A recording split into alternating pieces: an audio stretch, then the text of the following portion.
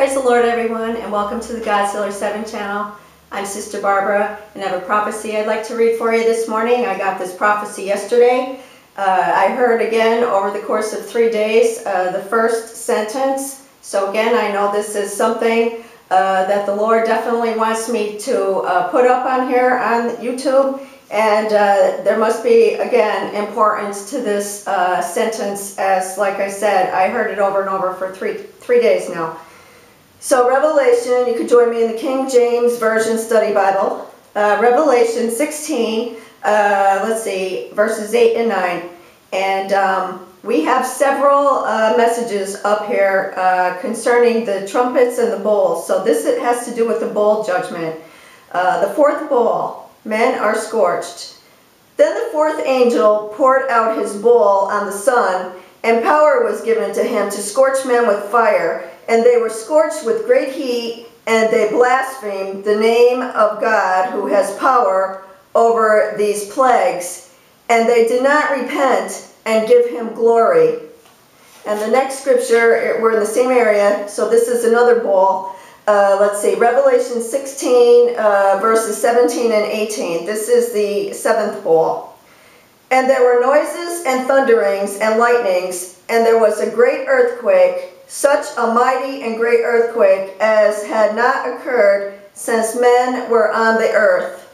And there's also another scripture, and actually a message I have up here already, um, and it's uh, Nehemiah 13, uh, chapter 13, verse 19. I'm not going to read that because my message is long, uh, but it has to do with, uh, I think it's called The Gate is Closed at Twilight. So it seems like uh, the, both of these messages go together with the gate being closed. And here is the prophecy message. The sun shall scorch the earth, the waters from the springs will be dry. The rain will not fall as the time is upon those of the earth that bow to the serpent. My prophets proclaim my time. The nations of the earth will mourn as their master fills their ears with lies. They will bow to him. They are deaf and blind. I have proclaimed my time to them, yet they still do not hear. The earth will quake, fire will fill the sky. The war machines are ready for the battle, as the great and terrible day is at hand. Blood shall flow as had never been seen. It will cover the land like the blood I poured out for my sheep. The blood poured out will be that of the evildoers. No sheep will be harmed, for they will be safe under my wing. Knowledge goes to and fro and covers the land, but the knowledge they seek is not of me. It is of the world. The world cannot save those who choose the serpent. Repent and come to me before the land is covered with confusion and chaos. How is it you still don't see me when I laid down my life for you? My chosen messengers are calling you as I have instructed. Why don't you hear and believe?